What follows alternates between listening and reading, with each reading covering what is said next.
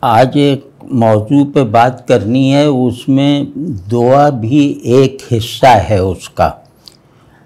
لیکن اصولی طور پر وہ بات ذرا زیادہ پھیلی ہوئی ہے اور وہ یہ ہے کہ ہم اپنے اپنے ایمان کو کس طرح بچائیں۔ اور یہ مسئلہ ایسا نہیں ہے کہ صرف ایک مفروضے کے طور پر، ایک خدشے کے طور پر ہو۔ اب جو ہے مطلب ساری تعلیم جو ہے، وہ دماغ کو ایمان سے مانوس نہ رہنے دینے کے لیے جیسے کمر بستہ ہے۔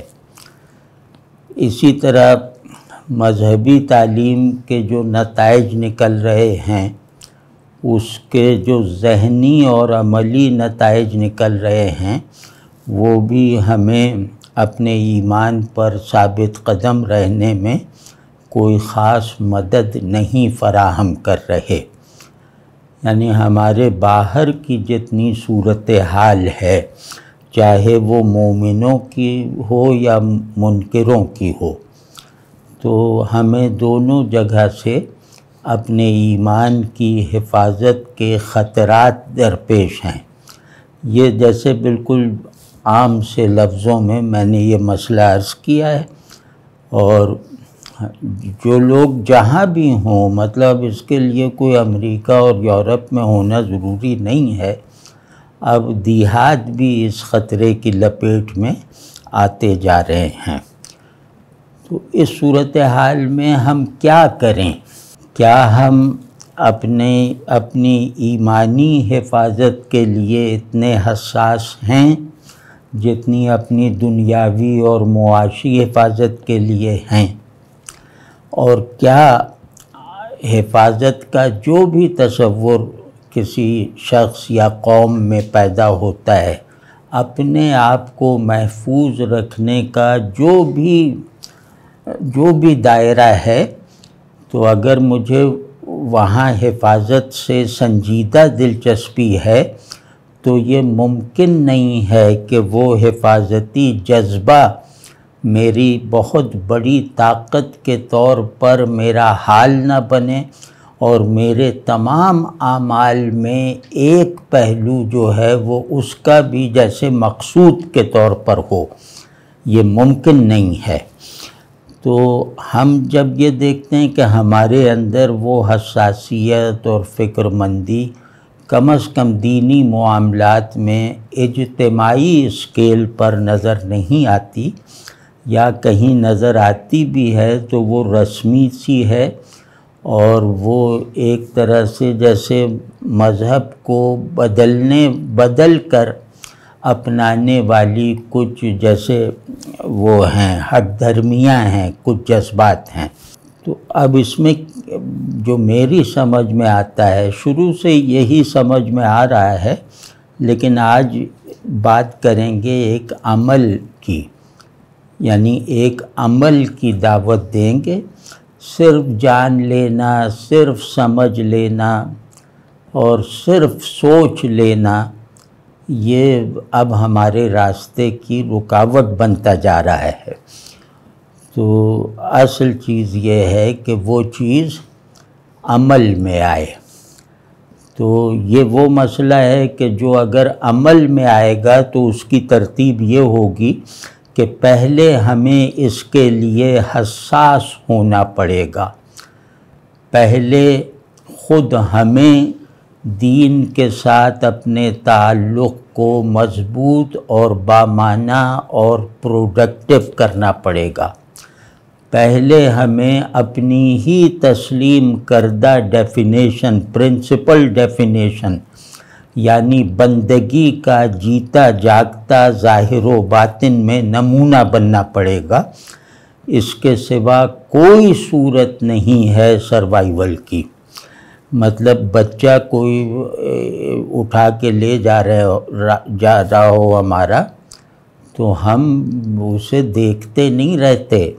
ہماری نظر اپنی کمزوری اور مجبوری پہ نہیں رہتی یعنی واقعی کمزوری پر، کہ وہ ہم سے بہت زیادہ طاقتور ہے جو ہمارا بچہ اٹھا کے لے جا رہا ہے۔ تو ہم اس سے لڑنے کو تیار ہو جاتے ہیں، ہم اس کا پیچھا کرتے ہیں۔ اور اکثر اپنا بچہ اپنے سے کہیں زیادہ طاقتور آدمی سے چھوڑوا لیتے ہیں۔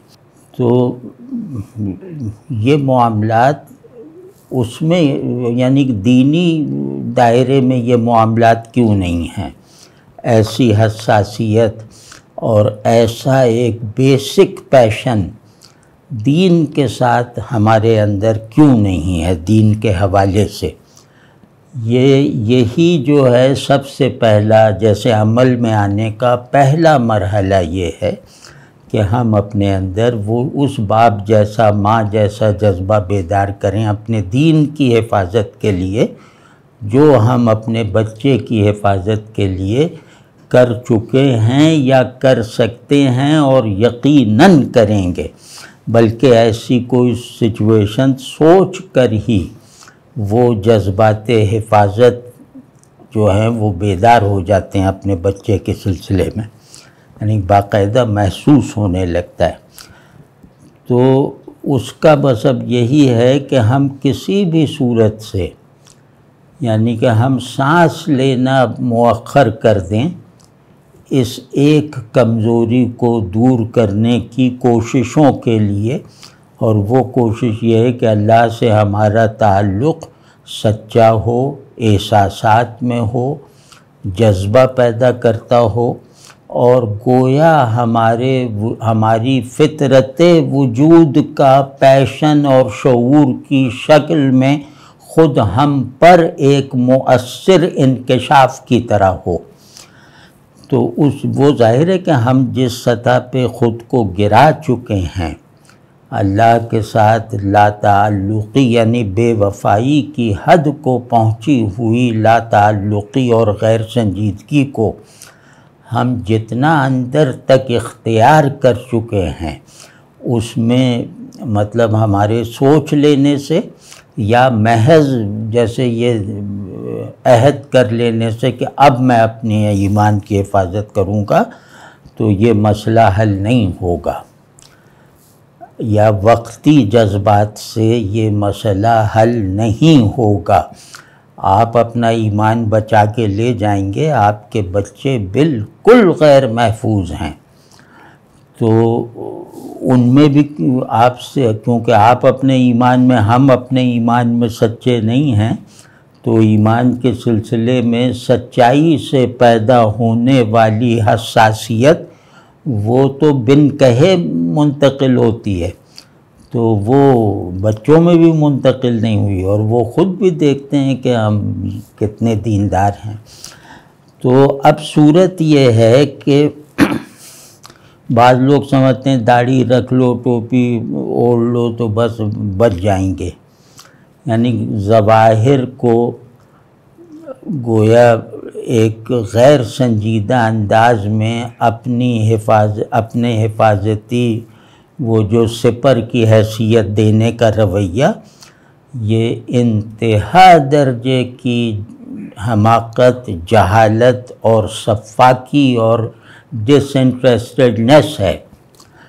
تو وہ آپ نے ایک ایسا، ایک ایسی وبا چلا دی ہم نے، یا جس نے بھی کہ بس یہ کر لو، داڑھی جو ہے وہ ایک قبضے سے زیادہ ہو پائچے ٹخنوں سے اوپر ہوں اور فلاں اور پگڑی باندھ لو تو کیا ہی بات ہے، پھر کندھے پہ رومال رکھ لو، یہ سب کر لو۔ تو بس خود بخود حفاظت میں پھر گویا اللہ پہ واجب ہے کہ وہ ہماری حفاظت کرے۔ تو یہ بدترین مداخلت ہوئی ہے۔ بندوں اور بندگی کے حقائق کے درمیان یہ بدترین رکاوٹ کھڑی ہوئی ہے کہ ظواہر کو گویا حفاظتی حصار بنا لینا اور اسی پر قانے ہو جانا یہ ٹھیک ہے کہ ظاہر میں بھی حفاظتی حصار ہوتا ہے، لیکن یہ ظاہر اس وقت تک، اس وقت حقیقتاً مبنی برحق ظاہر ہے جب اس کی تعمیر میں باطن شریک ہوا ہو، تو باطن کی شمولیت کے بغیر ظاہری زینتیں اور حلیے جو ہیں، وہ جیسے مسخرے پند کی طرح ہیں۔ وہ بلکہ ایک طرح کا نفاق پیدا کر دیتے ہیں کہ اتنا تو کر لیا، اور کیا کریں؟ تو یہ گویا اللہ کے ساتھ ایک کھلواڑ ہے۔ یہ رسول اللہ صلی اللہ علیہ وسلم کی سنتوں کو اپنی مرضی کے تابع کرنا ہے تاکہ زیادہ بڑی سنتوں سے جان چھوٹی رہے۔ یا یہ کہ اللہ کو پکارنا ہے، اب اللہ کو پکارنے کا موقع ہی نہیں ہے یا فلاں اور یا فلاں کی گونج میں۔ تو یہ سب کچھ جو ہے نہ آپ اللہ کے آگے محتاجی کے لائق رہ گئے ہیں۔ نہ اللہ کی عبادت کی صلاحیت یعنی فطری صلاحیت کی طرف متوجہ رہ گئے ہیں۔ تو اب اس صورت میں کیا ہو سکتا ہے؟ تو نہ اس میں اب تعلیم کام کرے گی، نہ واض و نصیحت کا یہاں کوئی اثر ہے۔ واز کیا کہنا، جو کہیں گے وہ پہلے ہی سب جانتے ہیں۔ تو یہ سب بھولے بنے ہوئے ہیں، تو اس میں اب ان کو کیا واز کہیں؟ کہ جو جانتے، بوجھتے بھولے بنے ہوئے ہیں اور اپنا گلٹ دور کرتے ہیں مذہبی مجلسوں میں حصہ لے کر۔ کسی کا مرید بن کے، کسی کا شاگرد بن کے وہ گویا مطمئن ہو جاتے ہیں۔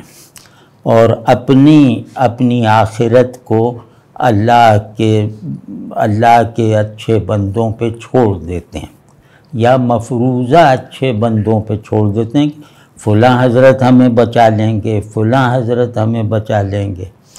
تو اب اس سب اس، ان سب معاملات میں جو ہیں وہ دو چیزیں جو ہیں وہ یعنی کہ دکھائی دینے کی حد تک مکمل طور پہ فساد کا شکار ہیں۔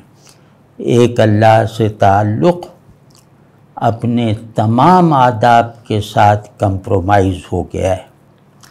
ہم نے اپنے جذبات عبادت و استعانت وہ اللہ کے بندوں پر نچھاور کر دیے ہیں۔ اللہ کے لیے تو ہم بالکل خالی ہیں۔ اس کے کیونکہ ساری بندگی بندوں پہ نثار کر رکھی ہے اور بندے کو جو جو بندے کے جو حقیقی مفادات ہیں، ان مفادات کے حصول کی ضمانت فلاں حضرت کو اور فلاں حضرت کو بنا رکھا ہے۔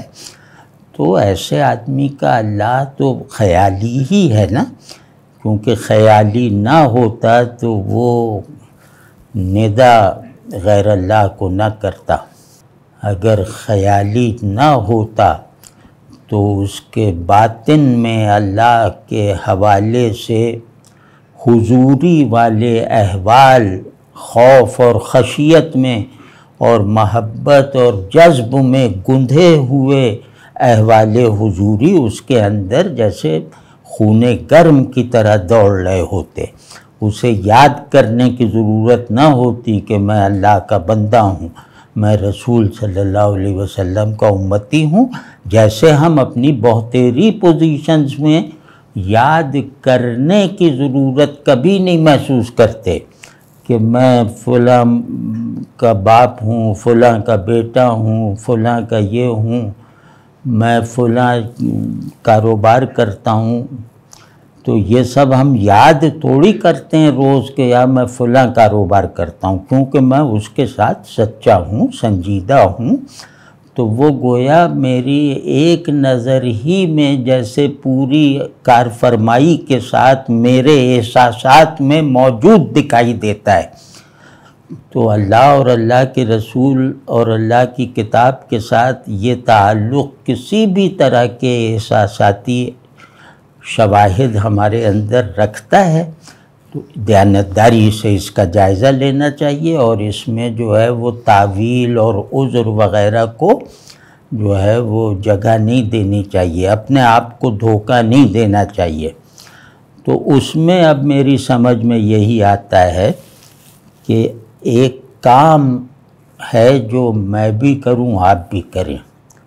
تاکہ کچھ عملی شکل اس کی بن جائے نا، تو عمل جو ہے وہ وہ بہرحال ایک ابتدائی درجے کی سنجیدگی پیدا کر دیتا ہے۔ یعنی عمل جو ہے، اگر دوام کے ساتھ ہو اور اور اطمینان کے ساتھ ہو۔ یعنی جلدی جلدی نہ ہو تو وہ اور بوجھ کی طرح نہ محسوس ہو، تو وہ پھر جس کے لیے، جس مقصد کے لیے کیا جا رہا ہوگا، اس مقصد کے ساتھ میرے تعلق میں سچائی، گہرائی اور معنویت پیدا ہو جائے گی۔ پہلی بات کہ اس دن عبادات میں یعنی عبادات میں سب سے بڑی عبادت ہے نماز۔ نماز میں سب سے عظیم رکن ہے سجدہ۔ تو سجدے جیسی کوئی عبادت عبادت کی شکل میں آئی ہوئی نعمت ہمارے پاس نہیں ہے۔ سجدہ اس جہان بندگی کا سب سے مرکزی عمل ہے۔ اور انتہائی فعل ہے۔ یعنی ہم جھک کے بلندی پہ پہنچتے ہیں۔ سجدہ جو ہے وہ ہمیں ناقابل قیاس بلندی تک پہنچا بھی دیتا ہے اور اس سے جوڑ بھی دیتا ہے اور اس کا شاہد بھی بنا دیتا ہے۔ تو اس کے علامتی معنی فی الحال ہم نہیں مطلب فی الحال پیش نظر نہیں ہیں۔ اور وہ ڈسٹریکشن نہ ہو جائے، اس لیے بڑی بڑی باتیں فی الحال نہیں کرتے۔ تو سجدہ، سجدے کو اپنا وسیلہ بنائیں۔ سجدے کو کام میں لائیں۔ سجدے کے ساتھ ذرا دیر کے لیے ایک سنجیدہ تعلق پیدا کر لیں۔ اور سجدے میں خود فراموشی کی جو ایک کیفیت ہوتی ہے یا ہونی چاہیے، اس کو جیسے اپنے مطلوبات میں شامل کریں۔ کیونکہ ہم اتنے برے خود بن چکے ہیں کہ ہمیں اب پہلی ضرورت یہ ہے کہ اپنی خودی کی تعمیر کریں۔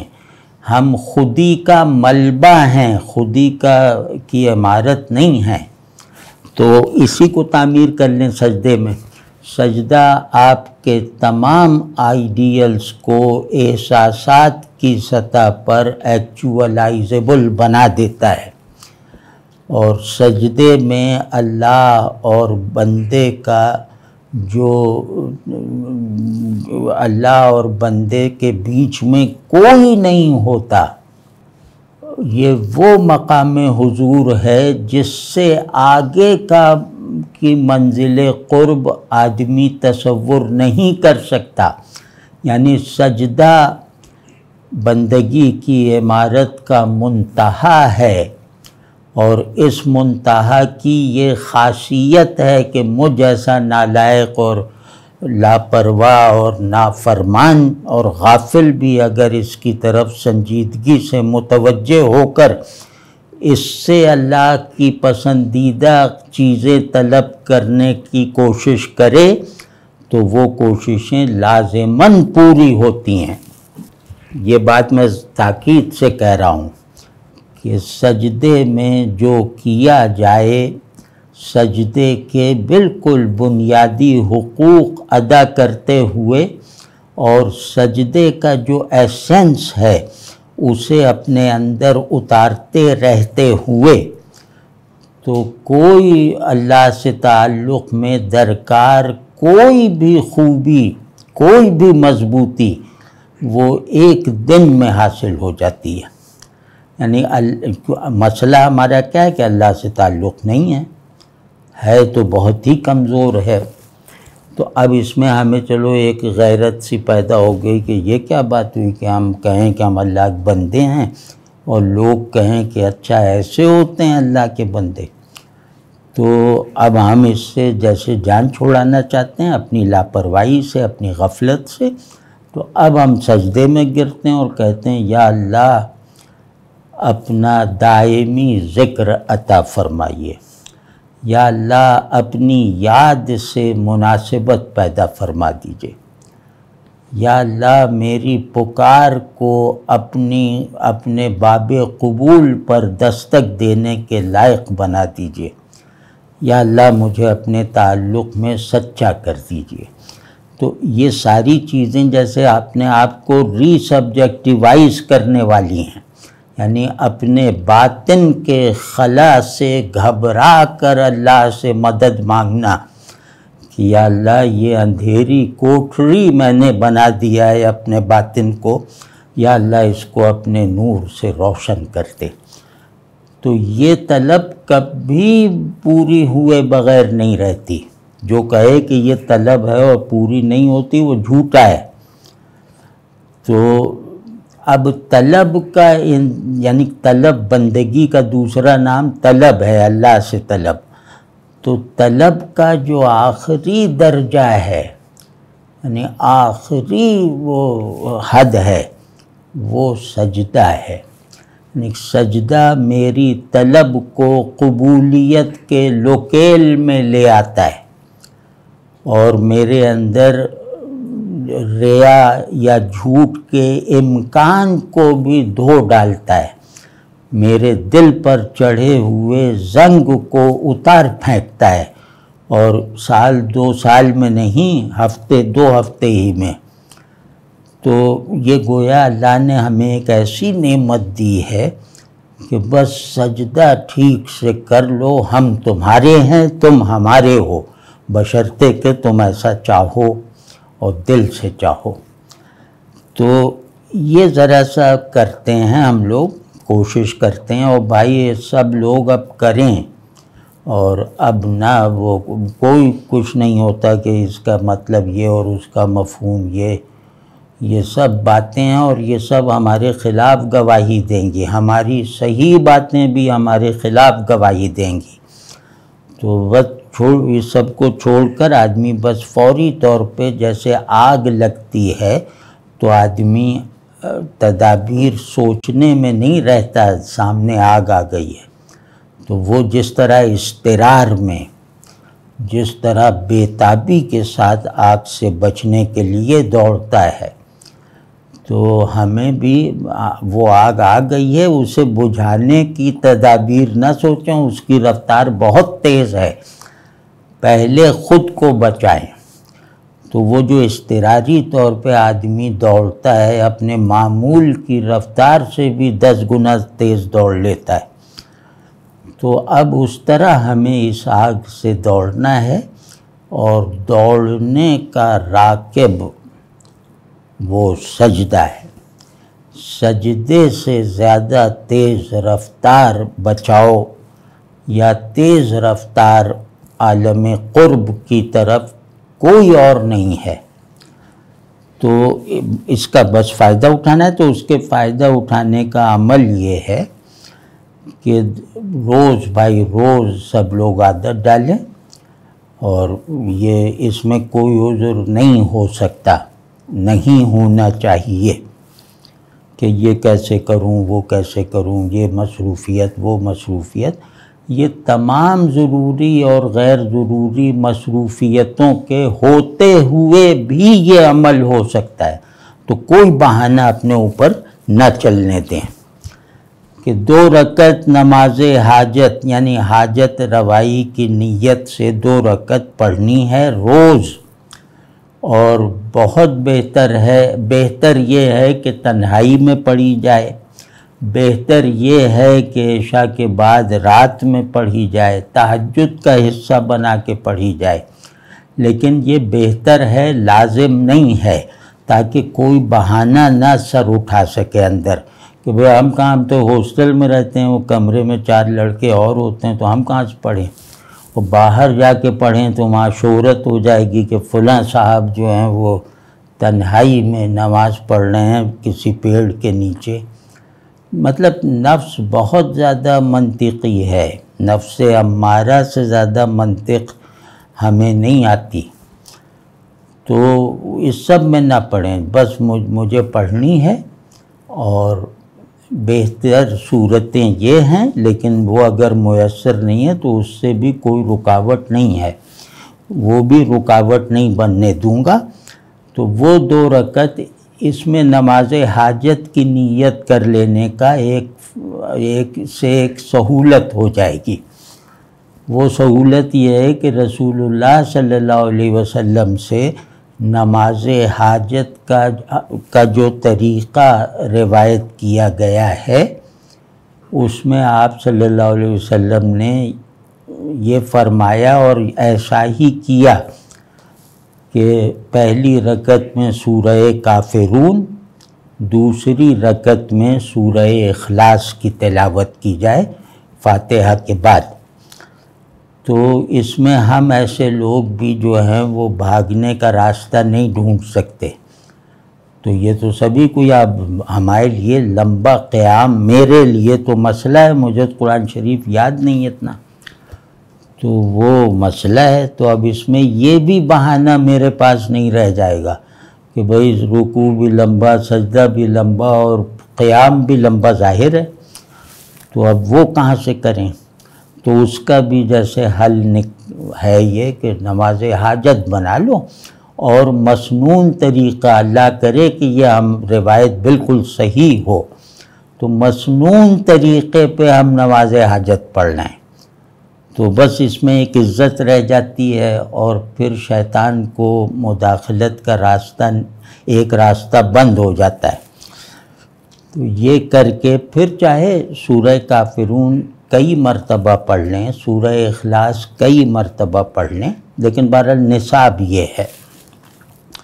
اس کے بعد رکوع میں جائیں، رکوع میں معمول کی جو تسبیحات ہیں وہ پڑھنے کے بعد اس دن آپ کی حاجت فرض کیا یہ ہے کہ یا اللہ مجھے اپنی تسبیح سے مناسبت عطا فرما دے۔ یعنی میرا دل بھی تیری تسبیح کرنے کے لائق ہو جائے۔ میرے احساسات میں بھی تیری صبوحی جو ہے وہ راسخ ہو جائے۔ تو میں تسبیح کی کیفیت میں رہوں۔ تسبیح یعنی اللہ، سبحان اللہ کہنا۔ تو اب پہلی نیت فرض کیا یہ کہ کہ تسبیحات تسبیح سے مناسبت ہو جائے یعنی جن اسکار یا دعاؤں میں سبحان اللہ آتا ہے، وہ تسبیح کہلاتے ہیں۔ تو اللہ کی پاکی بیان کرنا۔ تو اور یہ بیان اتنی سچائی سے کرنا کہ خود بھی پاکیزگی نصیب ہو جائے اس کی برکت سے۔ تو اب وہ کہ سبحان ربی العظیم، سبحان ربی العظیم، یہ کچھ مرتبہ طاقت میں کہہ دیا۔ مطلب گیارہ مرتبہ، تیرہ مرتبہ یہ کہہ دیا۔ اب اس کے بعد دیگر تسبیحات پڑھنے لگیں۔ اور وہ چاہے نہ گنیں چاہے تین تین کر کے پڑھتے چلے جائیں۔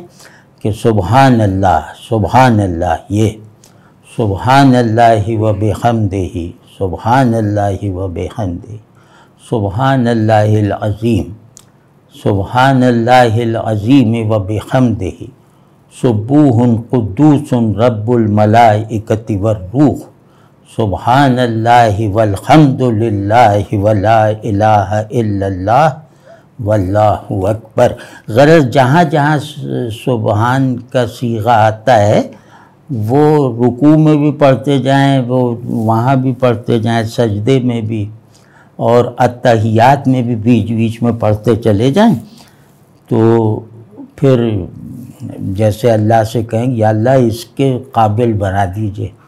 اور آپ کی تسبیح میرا تسکیہ کر دے۔ یا اللہ ایسا بنا دیجیے کہ آپ کی تسبیح کی کیفیت میرے اندر سے کبھی نہ جائے۔ تو یہ کر لیں، پھر یہ اس میں ایک وقت آئے گا، دو چار دن بعد کہ آپ کو لگنے لگے گا، یہ ہے۔ تو پھر اب دوسری طرف چلے جائیں۔ یہ تسبیح تو ذکر کی قبیل سے ہے۔ اب جیسے سورہ فاتحہ میں آیا ہے نا، اللہ نے بندگی کو سمیٹ کے بتا دیا ہے۔ اپنے تعلق کی دو کیٹیگریز بنا دی ہیں۔ اللہ نے ہمیں آپ کو سوچنے کی کوئی ضرورت نہیں رکھی۔ ایا کا نابدو و ایا کا نستعین۔ یہ اللہ نے ماڈل بندے کی زبان سے یہ گویا کہلوا دیا یعنی بندگی مجسم ہو کر اگر اللہ سے کوئی عہد و پیمان کرے گی تو وہ ان دو ٹکڑوں میں مکمل ہو گیا کہ یا اللہ تیری ہی عبادت اور تجھ تیرا ہی محتاج، تیری ہی محتاجی۔ بس یہ بندگی کا پورا اسٹرکچر ہے۔ عبادت عبادت کا مطلب ہے کہ عبادت میری فطرت وجود ہے، میری حقیقت وجود ہے، میری غایت وجود ہے۔ تو یہ گویا ایک اس کی جب جو بھی پریزنس ہوگی سچائی کے ساتھ، وہ احوالی ہوگی۔ اور عبادت کا کوئی بھی عمل احوال سے، تاثیرات سے، کیفیات سے اور نتائج سے خالی نہیں ہوگا۔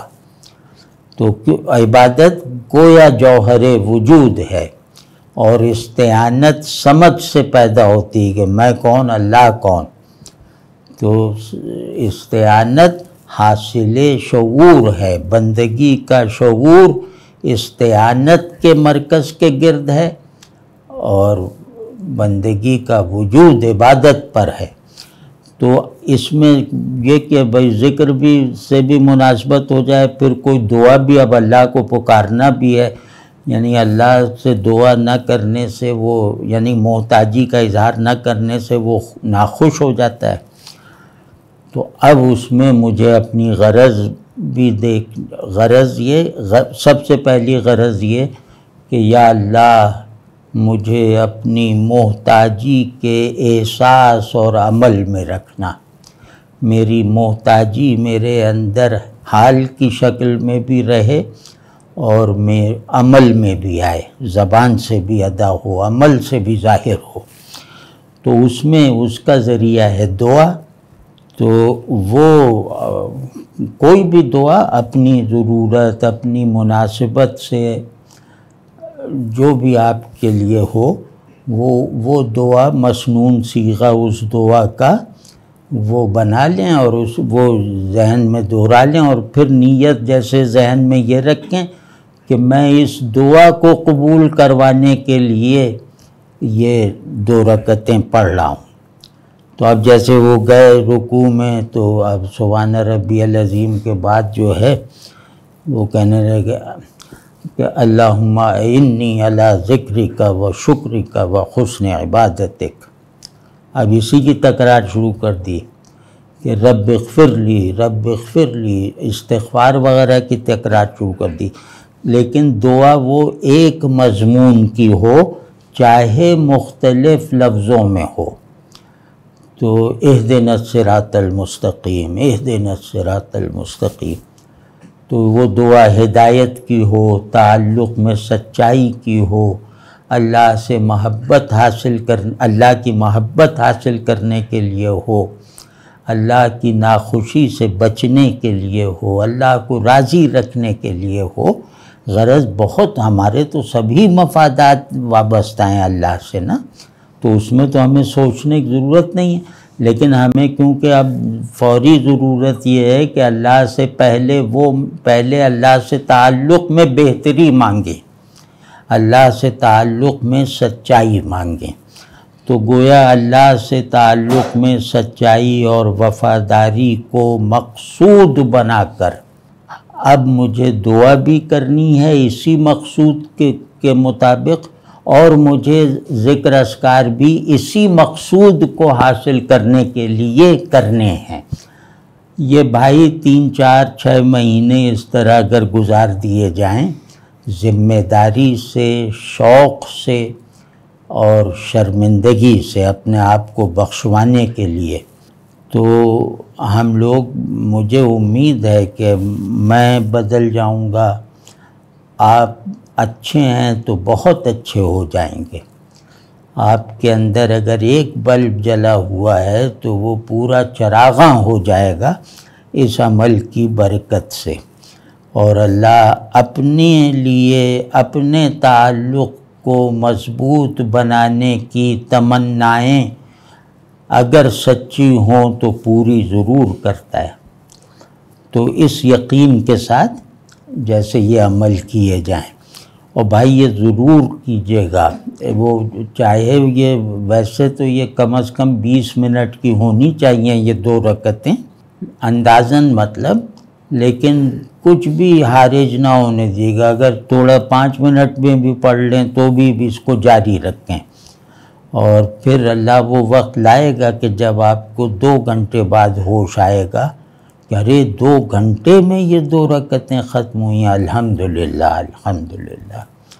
وہ خود فراموشی، جس کی ہمیں سب سے زیادہ ضرورت مطلب سب سے زیادہ ضرورتوں میں سے ایک ضرورت ہے، وہ بھی اسی سے حاصل ہو جائے گی۔ سجدہ خود فراموشی کی کی خلوت گاہ ہے۔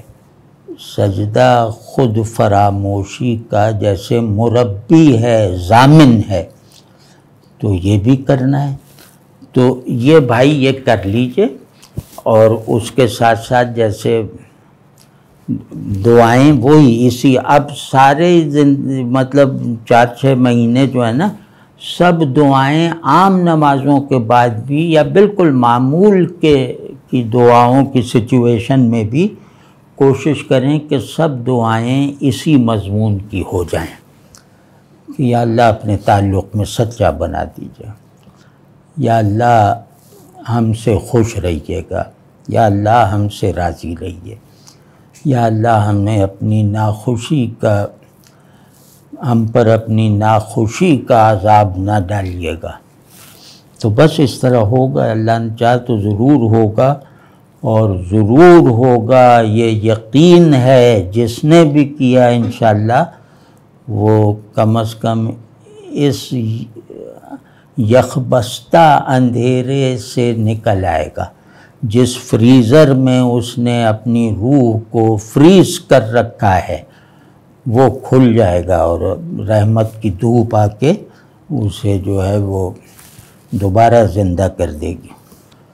تو ایک تو یہ ہو گیا، تو ویسے میری اپنی تجویز ہے کہ سب سے پہلے نماز میں بہتری کی دعا کیجیے پہلی نماز حاجت اس طرح پڑھ لیجیے کہ یا اللہ اچھی، میری نماز بہت اچھی ہو جائے اور وہ مجھے گناہوں سے اور بے حیائیوں سے بچا لے، مجھے غفلت سے محفوظ رکھے۔ تو بس پھر پھر اس کے ساتھ ساتھ یہ سب کیا۔ گیا